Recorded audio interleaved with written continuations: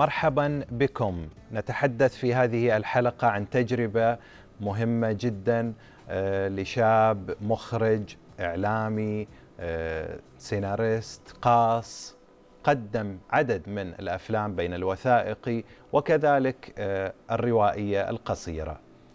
قصة من خلال القصة وكذلك شارك في إنتاج مجموعة من الأفلام. هذه الخلطة الجميلة راح نتكلم عنها ونتعرف أكثر على ضيفنا بعد الفاصل.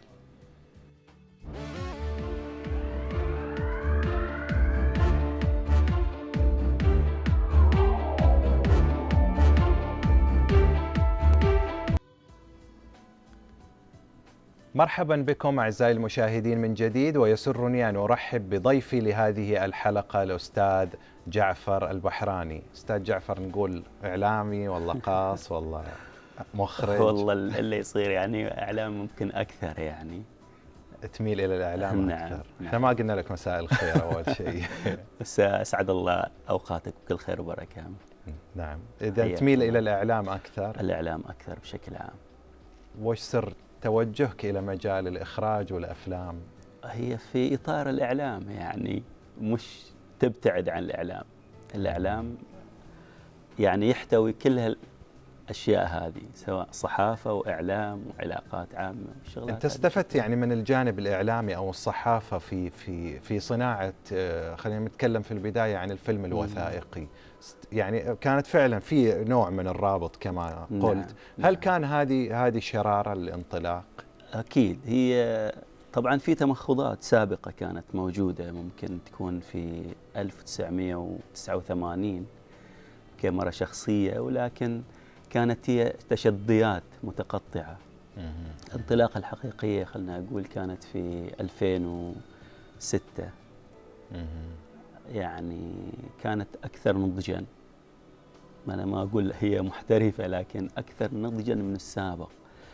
بالنسبة ل يعني العطاء الصحفي في الإطار هذا لا شك أنه غذى هذا الجانب. آه، يعني إذا إحنا رحنا لموضوع التقرير التلفزيوني. كمراسل صحفي تلفزيوني يقترب كثيرا في إطاره بالنسبة للعمل الوثائقي يعني. فهذا جانب يعني في هذا الإطار. وبدأت مباشرة في الفيلم الوثائقي. نعم بديت في الفيلم الوثائقي. هل حسيت هو الأقرب لك أنت كصناعة؟ آه، مو فقط الأقرب هو الأقرب كصناعة هو أنا أقول آه، أنا عندي هوى في الإطار التاريخي في الإطار ال- الواقعي.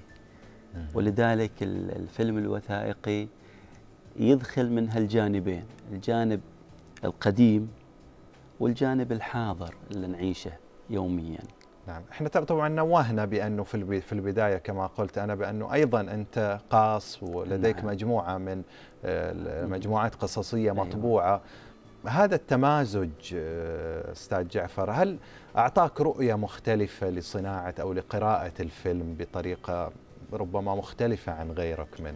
لا ما أقدر أدعي هذا الكلام. طبعا يعني صعب واحد يدعيه لكن أنا عندي توجه معين عندي رؤية معينة. يمكن تجانب الحقيقة أو ما تجانبها ذاك شيء آخر. يعني أنا أتذكر آه، آه، أول فيلم إلى الأستاذ موسى الرض... آه، عفوا آه، موسى الثنيان. اللي هو بقايا طعام. هو كان في عرض أولي آه، وإحنا أعطيناهم ملاحظات وأنا كنت أقول للسيد عباس عفوا فاضل ال- الشعلة الشعلة أن هذا الفيلم إذا شاركت فيه في مسابقة بعد التعديلات يعني حطينا ملاحظات في الحقيقة أنا أعتقد أنه راح يفوز. وفعلا هذا الفيلم فاز حصد جوائز عام 2008 على نعم. مستوى أنا- الخليج هي كانت رؤيتي أنه لو راح بيفوز. هل هذه سبقت يعني الحدث ذاك شيء آخر بس أنا أعتقد كل إنسان عنده رؤية معينة في إطاره من خلال ثقافته تحصيله معطيات تجاربه بشكل نعم. عام رؤيتك أنت الخاصة للفيلم الوثائقي مم. ماذا يعني لك الفيلم الوثائقي؟ الفيلم الوثائقي طبعا في عناوين عديدة يعني.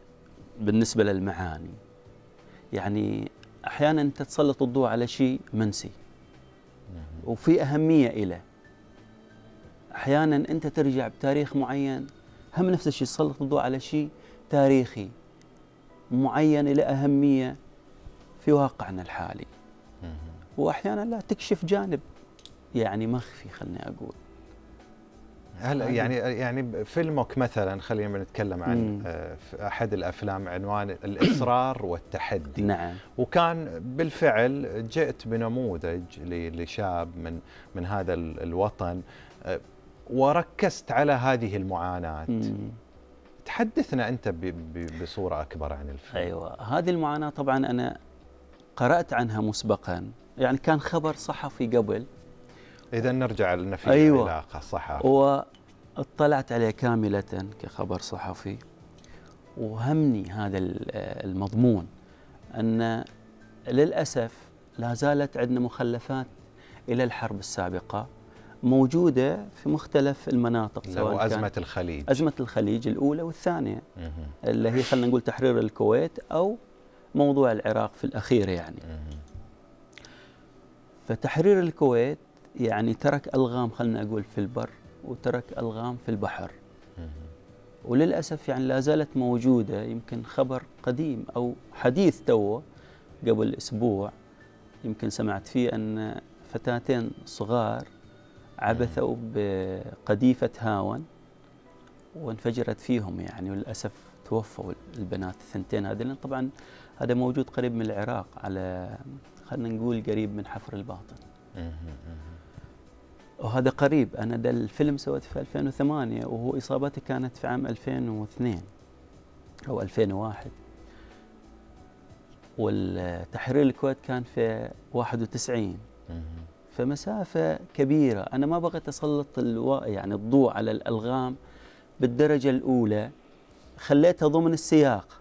خليتها بشكل أكبر تركيز على الشخصية تركيز على الشخصية. هي المحور. أيوة. الشخصية هي المحور. ليش؟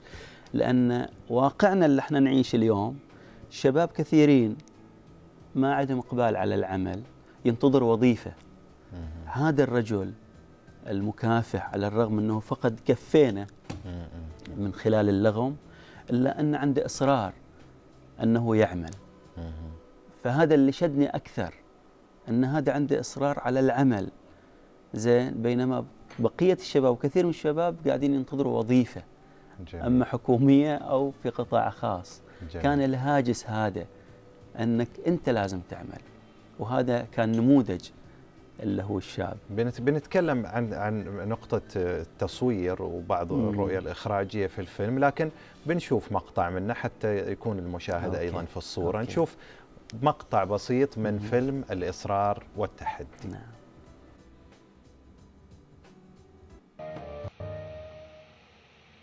ينطلق كعادته صبيحة كل يوم في كفاح من أجل لقمة العيش. هذا هو هاشم.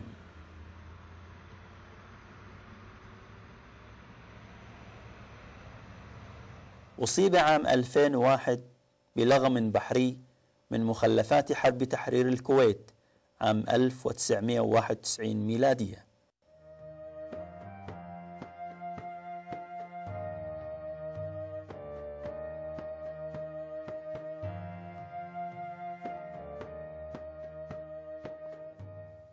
شفت خيط. خيط عادي يعني اللي لفتني خلاني أشيل حلاوة الخيط. شكله يأهل حق إن الواحد يشيله. والله ألوانه حليوة والله صار حاجة مكورة.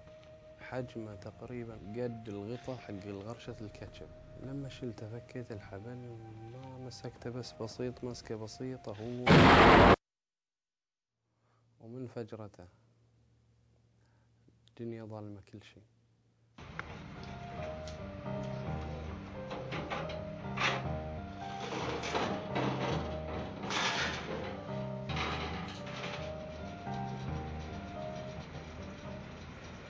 عندما أصيب هاشم كان متزوجا وأبا لثلاثة أطفال ورغم فقده لكفيه وتضرر عينيه إلا أنه أصبح أكثر عزيمة وإصرار على مواجهة الحياة. لابد انه يصير عنده محنة لحق إنه فقد أطرافه بس مو لدرجة إنه يفقد إيمانه بالله. ورحمة الله أكثر من كل شيء.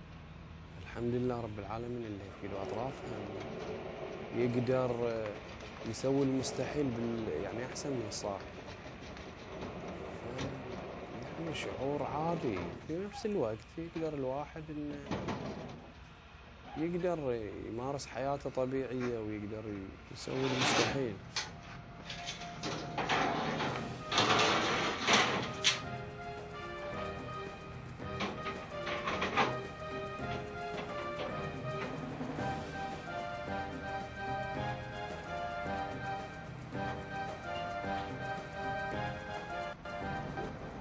إصرار هاشم على الحياة بشكل طبيعي وعزيمته القوية جعلته يعيش حياته كما لو أنه لم يفقد شيئا من أطرافه.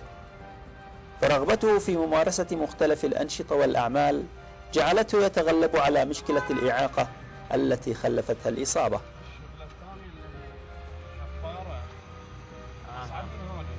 آه. تشتغل حفارة بعد.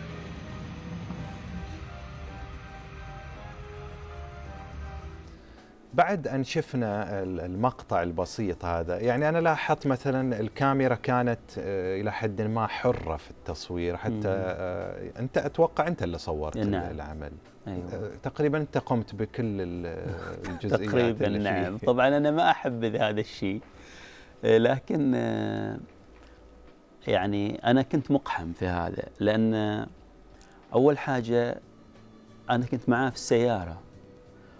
وكنت أقول عند طفل صغير كنت أقول للطفل هذا أنت خليك في البيت خليني أنا أطلع مع أبوك.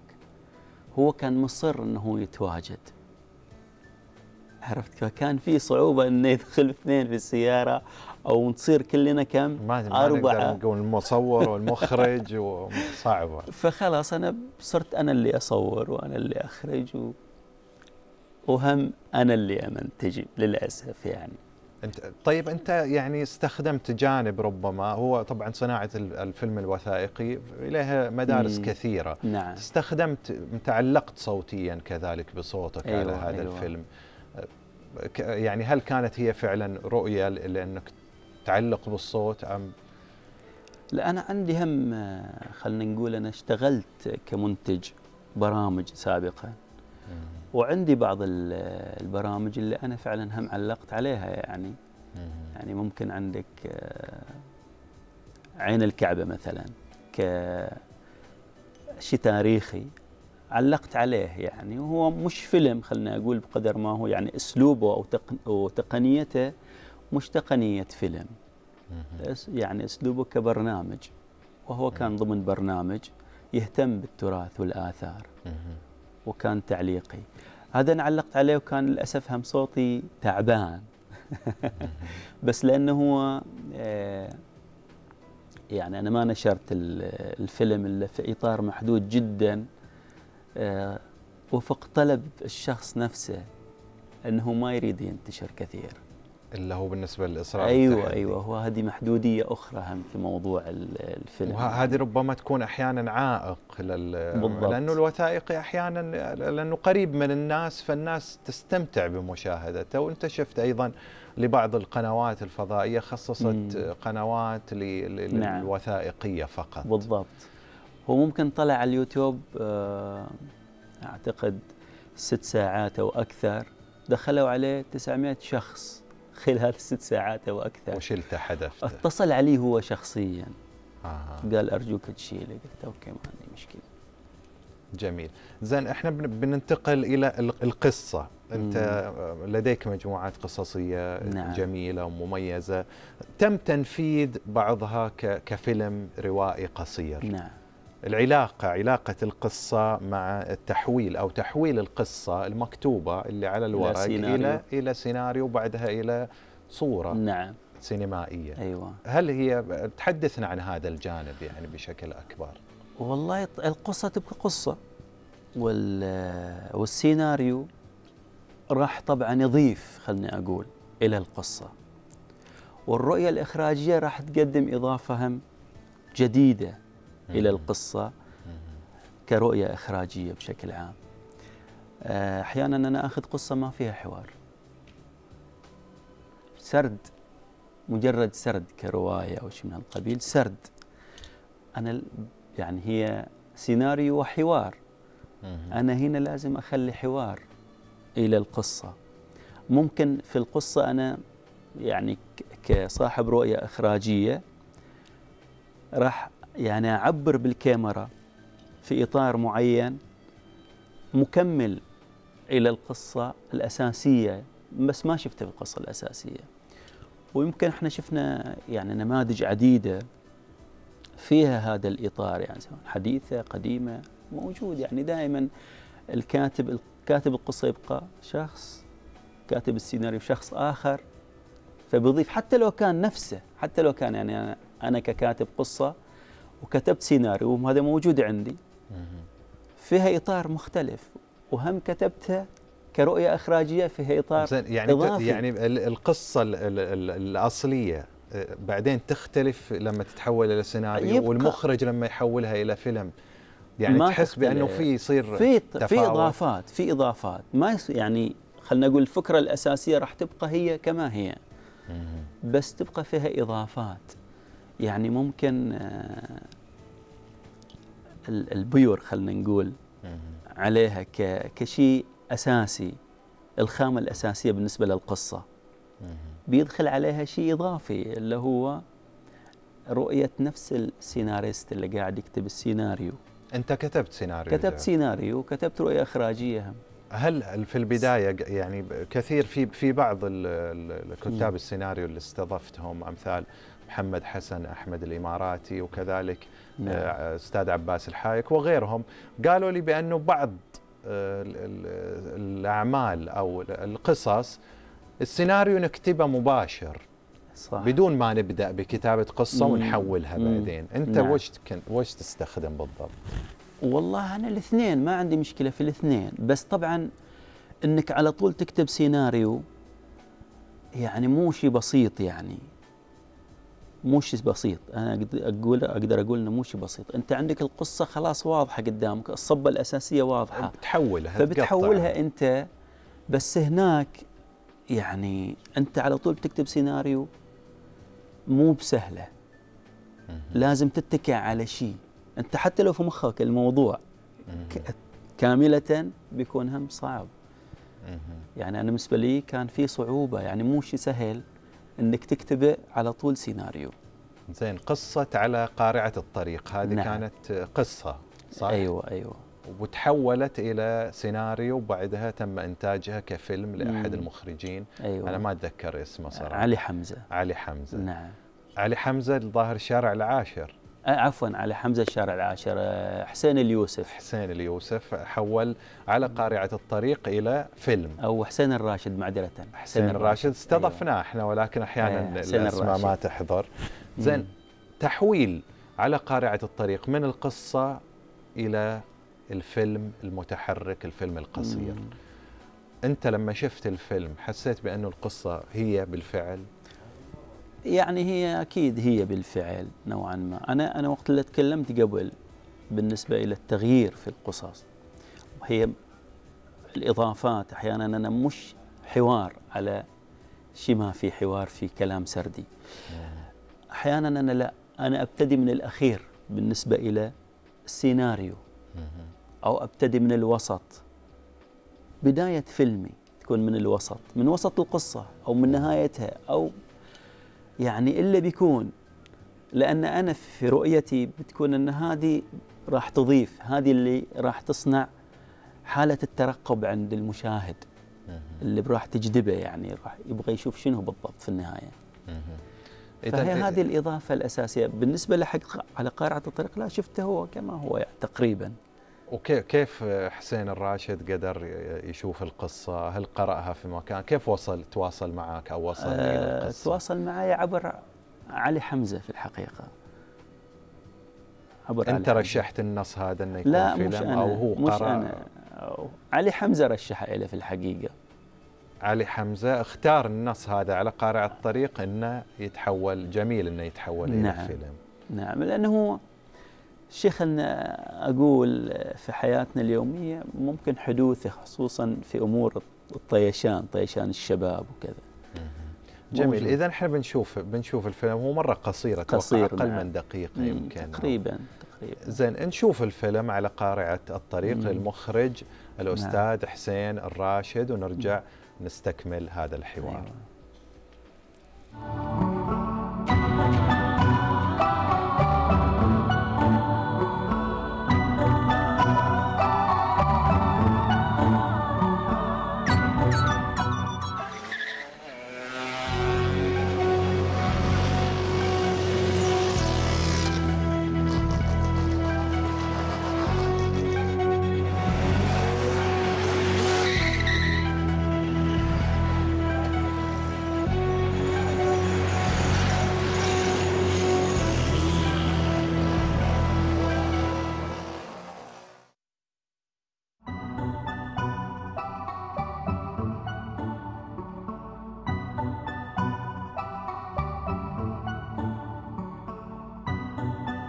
موسى عندكم في البيت؟ لا والله مو هنا. وعلي برا ما أدري ويش اللي أخره. وموسى الثاني ما أدري وين راح. الوالدة هناك ضايق خلقها. يعني أنا اللي مرتاح؟ أنا رايح أشوف مكان ما يلعبون.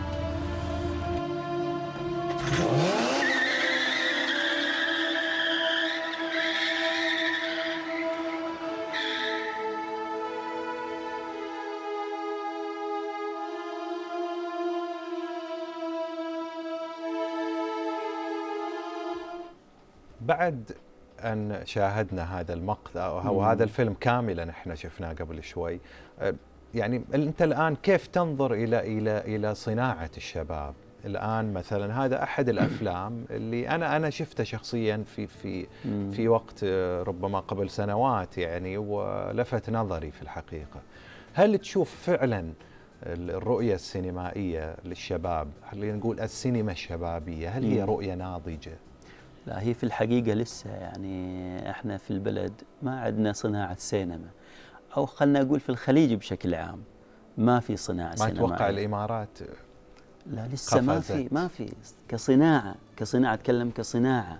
يعني مفهوم الصناعة أن في ممول إلى العمل السينمائي. يدفع مبالغ يعني إي كرأس مال. كرأس مال.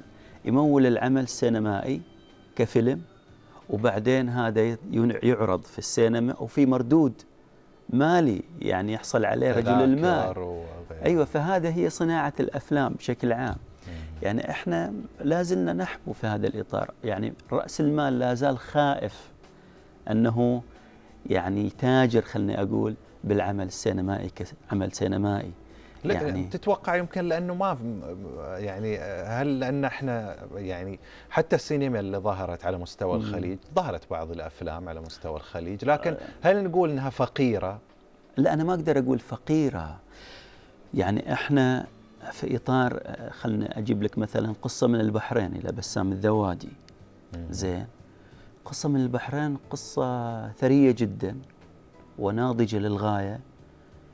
وطبعا عمل آه، سينمائي ما حد يقدر يتكلم فيه إنه يعني هابط. عمل سينمائي فعلا راقي جدا لكن لا زال هم بسام الدوادي غير قادر على أنه يقنع رجال المال أنهم يشتركوا معه في إنتاج أعمال سينمائية تعرض في السينما ويحصلوا من وراها مردود مالي. بينما هو كان عمل فعلا راقي جدا. زين إحنا بننتقل إلى إلى فيلم آخر الشارع العاشر وأنا اللي لفت نظري الشارع العاشر وطبعا أيضا قصتك ولكن أنت شاركت فيه كممثل. نعم. أغرتك الشاشة يعني. لا لم تغريني الشاشة في الحقيقة.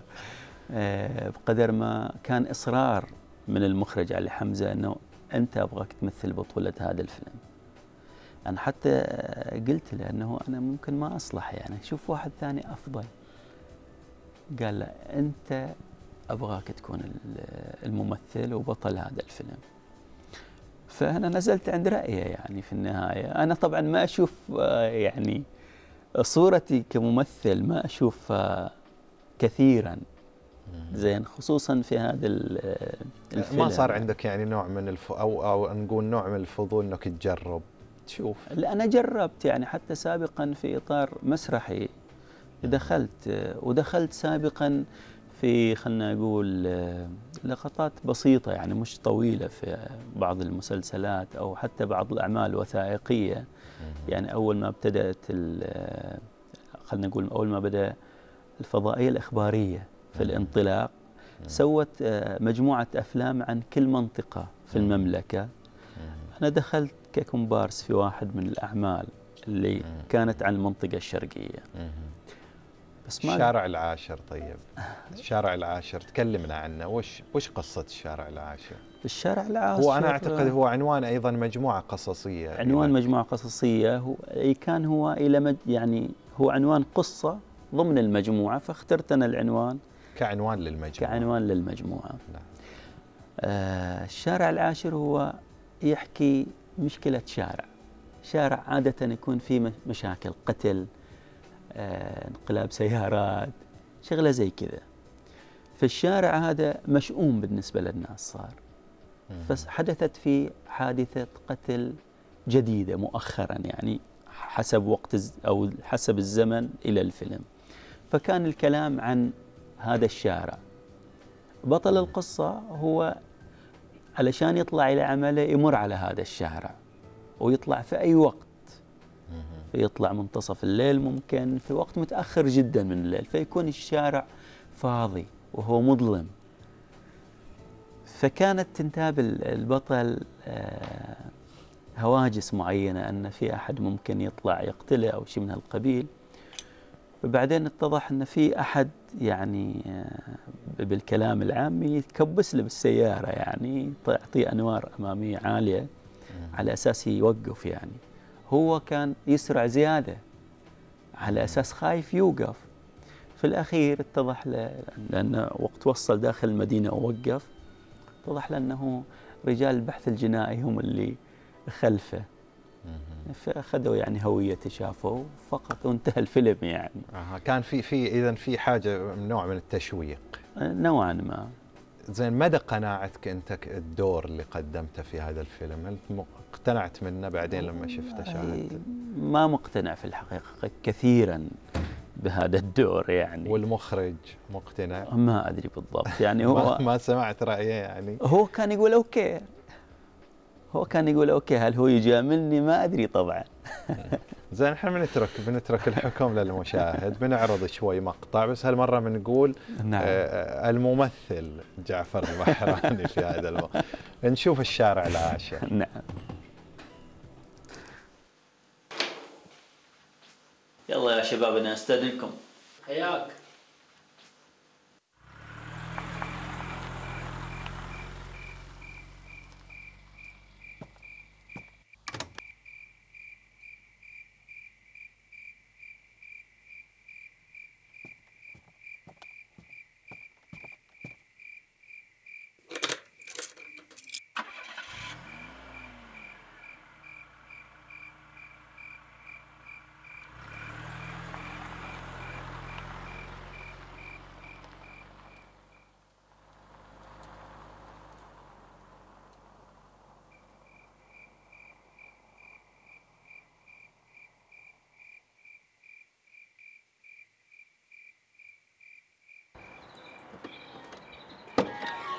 تلفون العمل هذا. هلا والله. عليكم السلام. زميلك فرحان راح يوصل البحارة إلى المطار. زميلك حمزة طلع من نص ساعة للباخرة للمجعين يا ريت تجيني بسرعة وتحل المشكلة. تامر طال عمرك. فمان الله.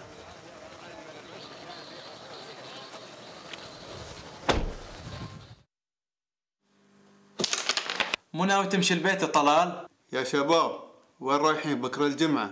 إذا خايفين وصلكم بيوتكم. هذا اللي يخافون؟ هذا ما يخافون. قوم فتش جيوبهم كل واحد بتشوف عنده مرزبة إيش قدها يلا شباب نشوفكم على خير. حياك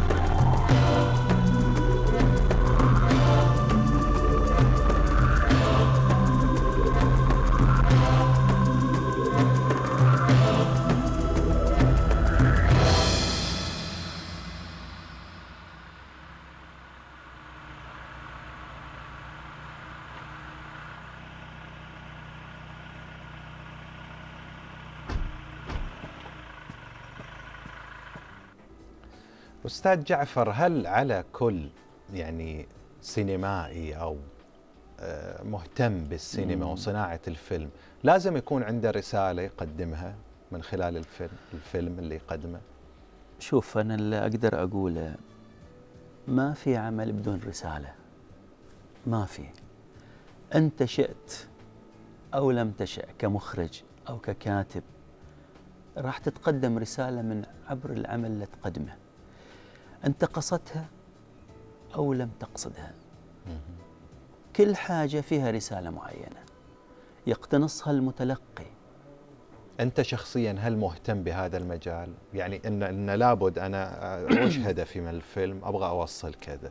انت أنا قلت لي ال- الإصرار والتحدي مثلا عندك كانت رسالة للشباب آه، ب- ب- بطريقة أو بأخرى. هل تهتم بهذا الشيء؟ أنا أنا أنا أدعي أني صاحب رسالة. وبالتالي أنا أعتقد كل صاحب رسالة عنده هم أنه يوصل من خلال أي عمل يقوم فيه رسالة معينة إلى المتلقين سواء كان كاتب أو راوي أو قاص أو يشتغل في الأفلام أو المسلسلات. كل واحد عنده رسالة عنده اهتمام أن يقدم رسالته عبر المحتوى اللي راح يوصله إلى الناس زين أستاذ جعفر ليش تركت الحين الأفلام؟ أنا أشوف يعني آخر آخر عمل قدمته قبل فترة طويلة نعم. وبعدين كأنك شوي ابتعدت آه الساحة طبعا مليئة اليوم بالأعمال السينمائية الكثيرة واحيانا أنت يمكن آه تسلط ضوء على جانب معين وتسأل تشوف الآخرين هم سلطوا عليه الضوء. ممكن من زاوية مختلفة. بس تجنبا للتكرار. الواحد يبتعد شوي يشوف لزوايا مختلفة يمكن ما صار عليها اقتناص. يعني الآن اللي اللي مو مركز عليه بشكل كبير الوثائقي أعتقد على. مستوى الخليج الوثائقي. بحر يعني ما طرق أحد إلا القليل يعني. يعني أنا موجود عندي لا زال يعني كأفلام وثائقية مكتوبة كسيناريو أو مكتوبة كفكرة. موجود كثير. بتشوف النور قريبا؟ آه، أعتقد في يعني واحد من الأفلام أنا قريب إن شاء الله راح أشتغل عليه وبكون أعتقد له اهتمام محلي كبير. إن شاء الله. نتمنى لك التوفيق دائما. إذا في شيء تحب تضيفه غير كلمة شكر يعني إحنا ما, ما نقبل بالشكر. ولكن آه، كرسالة أو أو فكرة معينة عن السينما آه، في الأخير يعني. أنا أعتقد أن الساحة السعودية بشكل عام قادرة مستقبلا أن تنتج أفلام بشكل صناعة. بس إحنا محتاجين إلى الوقت. واليوم كثير من شبابنا على الأقل يعني حسب اللي أشوفه أنا في المنطقة الشرقية هم آه، انطلقوا ممكن كهواة اليوم هم ممارسين ومحترفين إلى العمل السينمائي. ممكن تنقصهم بعض التقنيات لكن أو بعض الأدوات خلنا أقول لكن هم احتالوا عليها وقدموا إنتاج جدا راقي وأعتقد القادم حصد ما شاء الله جوائز حصد كبيرة. جوائز وأعتقد هم القادم بيكون أكثر إن شاء الله إن شاء الله شكرا لك أستاذ جعفر على هذه يعني تلبية هذه الدعوة وحضورك معنا برغم انشغالاتك الكثيرة وإضافتك الجميلة الله لنا في وأنا البرنامج. بالفعل أشكركم على هذا البرنامج اللي أعتقد أنه قدم الكثير سواء لشبابنا اللي يشتغلوا في هذا الحقل أو للاخرين اللي عندهم تطلع للعمل فيه. شكرا لك شكرا أستاذي. نعم. والشكر الجزيل لكم أعزائي المشاهدين لهذه المتابعة. تحدثنا عن عدد من الأفلام المهمة لضيفنا لهذه الحلقة الأستاذ جعفر البحراني. تحدثنا عن الإصرار والتحدي على قارعة الطريق الشارع العاشر وغيره. هو عنده مخزون كبير جدا ولا زال في عنده أوراق تحتاج إنها تشوف النور من خلال الأعمال والأفلام السينمائية القصيرة. تابعونا دائما في سينما شبابية. إلى اللقاء.